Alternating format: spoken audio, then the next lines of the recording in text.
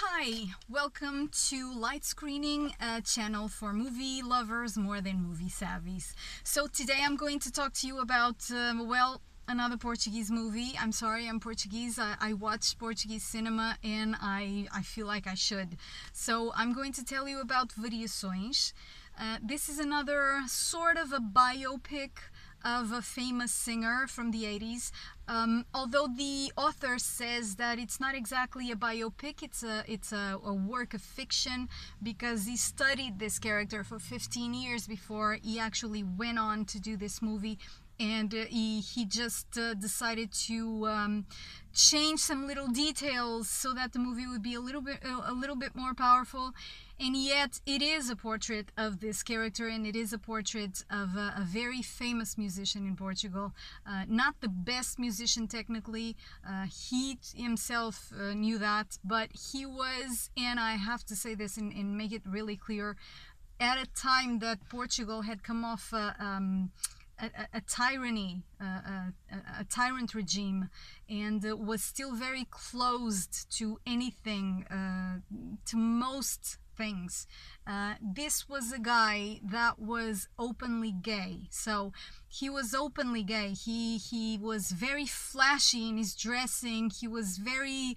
Uh, he did not tone his personality down because of a of a, a closed up, a, a closed minded country.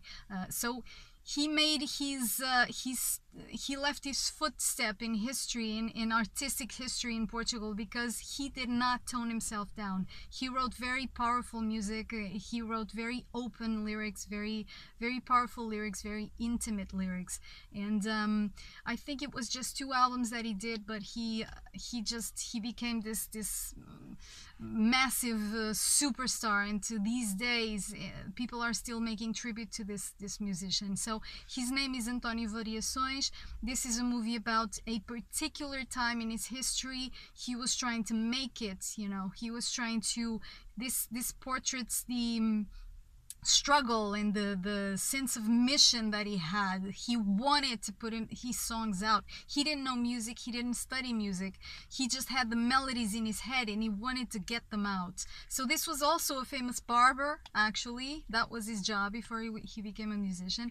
So this this movie is um, he's very uh, it's from the moment that he comes back to portugal to try to make it and the moment that he makes it. So um, uh, this is this is this is um, a movie by João Maia. He's uh, mainly a TV director. He took it took him 15 years to actually do this project. Um, it's getting great reviews. Uh, I too loved it. Uh, it's it's down my lane. I mean, I love music and musicians, and, and this is this is an interesting film. Um, the the protagonist, the leading man, is Sérgio Praia. This is a very experienced, uh, uh, now a very experienced actor. He did uh, some movies. The last one that you may remember, if you're Portuguese, it's Parque Mayer and also Gabriel. Um, he did some soap operas, Prisioneira, Saber Amar. Um, he actually apparently did the casting for this movie a long long time ago before he was so experienced experienced. Meantime he uh, actually secured the same character in a play in theater and so this kind of made him be António Variações for a few years.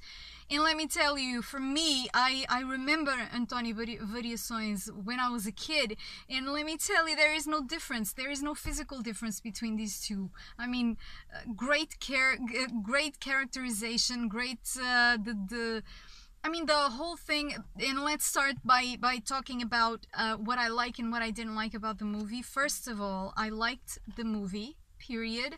So the best about it, um, the best about it is uh, it protected his image and his personality. I think it was very elegant in the way it portrayed his history and his personality. I think it was. Um, very contained and very toned down and very respectful in that way. It it uh, it's clear who this person is it's clear what motivates him but it it doesn't uh, it doesn't need too much you know there are some little details in the lines and in the scenes that uh, kind of portrayed very very very uh, basically what this man was about. So I think it was very elegant in that way, in, in protecting his legacy, say.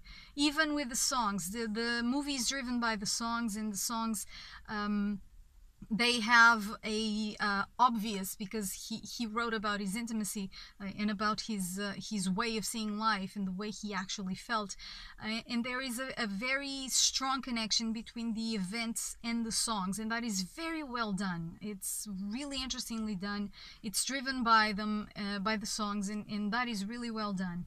Uh, also the sceneries the, the sets the houses the clothes the everything that portrays the 80s very interestingly done a very kitsch very it's it, it's it's a little over the top. I mean not all the houses were like that and not all the people were dressed like that but in, in not all the colors were so flashy but i think it was appropriate. I think for the character that was being portrayed, I think it's it's a really cool option.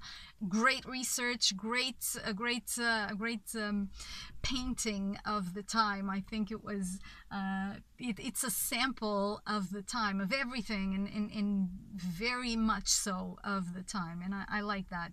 Another thing that I loved there is this other guy Filipe Duarte who plays uh, Fernando Ataíde who's apparently the love of António Variações' life um, I mean, the chemistry between those two is amazing. I mean, it's more what you don't see and what you feel than what they actually say and do, which is so beautiful.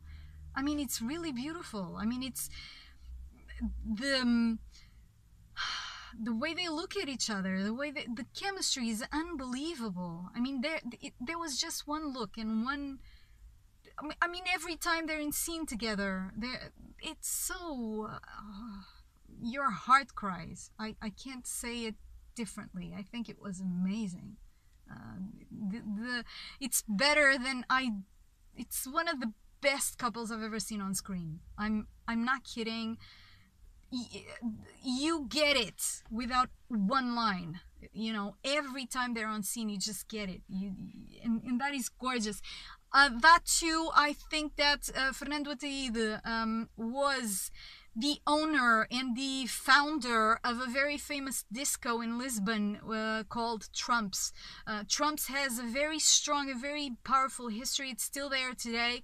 Uh, I'm not sure. I think it, it closed for some time. I'm not sure. Uh, I'm not going to get into that because I'm not sure. Anyway, Trumps was a place where everyone was welcome. And uh, to this day, it's got, it's got, um, I think it's still there, uh, Lugar às Novas, which is a, um, a drag queen uh, uh, contest. So from the moment it opened to this day, Trumps is a, is a meaning of, of uh, you know acceptance and, and freedom. So uh, i found it interesting. I had no idea uh, that these two people these two persons were intimate uh, or even friends. So i found it interesting to see uh, the beginning of trumps in this movie. So that was interesting too to me. Um, what do i think um, what don't I like so much in, in I, I'm not sure this is the right way to say it because I loved the movie but I could have been there and this is the best compliment you can make to a movie. I mean, I could have been inside that room watching that story and that character and those characters for another two hours. So I think there was so much more to say. And that is probably the worst part of it is that I wanted more about that love. I wanted more about uh, about um, even the concert that he he dreams of doing with Amália, uh, opening for Amália Rodrigues, Amália Rodrigues, the goddess of Fado.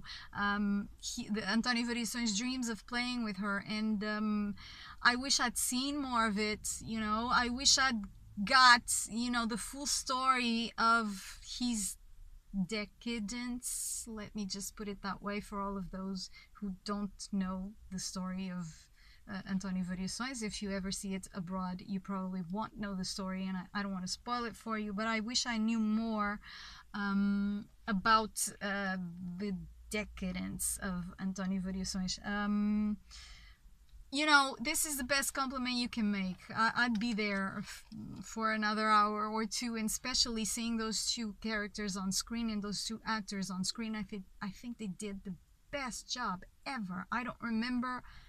I mean, there are a few other films that I could mention, but I don't remember lately a couple that worked so well, uh, chemistry wise. That was brilliant. Um, I have to say, and this is a a note about my channel. Uh, I have to say thank you to Rick N. Baker from San Francisco and Maria Petrov, with whom I've been having some conversations in the comment section. Uh, thank you so much for your attention and thank you so much for uh, supporting me. And that's that's it's it's it was fun. And uh, I'm sorry if I haven't seen any comments from anybody else because I was told recently I'm, I'm not a professional at this. I'm just playing with this. Um, it's for fun and people used to ask me what I thought about the movies I saw because I, I see a few quite a few movies and so this is for fun. I'm not a professional yet. And somebody told me that i'm looking at the comments in my smartphone and i'm probably missing some comments uh, because not all of them are shown in, in my smartphone. So i have to check that out. I'm sorry if i'm, I'm mentioning just you and there are more. Uh, I, I have to check that out. I'm so sorry if i haven't yet. Um, and if you want to tell me uh, any of you uh, for instance, a, a, singer or a musician that you know in your country and that is not the best musician technically, but it's somebody that uh, wasn't afraid of being authentic and, and kind of made, uh, um, you know, left his footprint in history, his or her footprint in history, comment below. I'd love to know about it. Or somebody who inspires you personally, uh, I'd love to know about it. And uh, thank you for watching and go to the movies.